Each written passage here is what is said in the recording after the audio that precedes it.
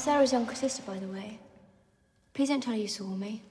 I'll get into terrible trouble. She wanted everything to be just perfect. She wouldn't want me to scare you off. How would you do that? Well, you know.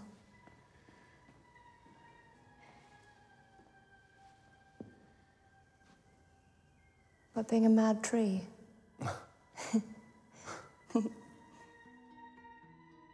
I won't say a thing. Thank you, sir. I'm sorry, we haven't met. We have. I was in costume at the time.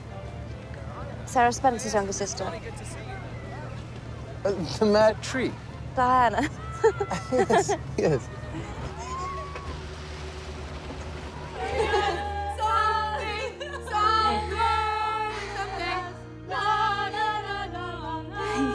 Perhaps we could meet again in the autumn. Oh dear, you'd rather not. It's just such a long way away. Oh, it'll fly by. No, it won't. It'll drag horribly.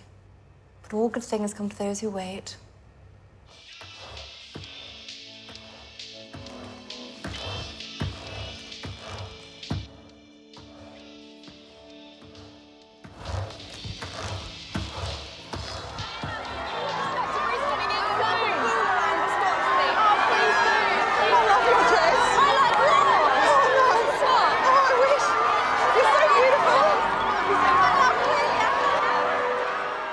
Desperately need foster parents, but people are too afraid to take them Why?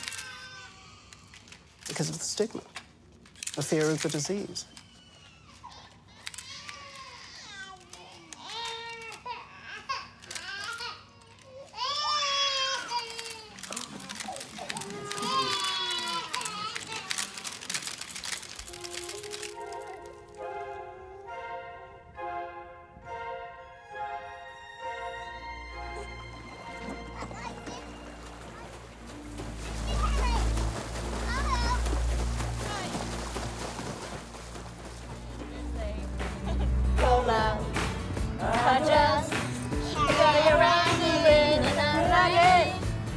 Um, I suppose the greatest highlight has been, well, um, well, meeting all of you, uh, the people of Australia. You've made us feel so welcome, so at home. Well, mm, perhaps because you've been so refreshing. You're not what we expect from royalty. Well, that's because I don't think of myself as royalty. You know, first and foremost, I'm a wife and a mother. That's what's most important to me.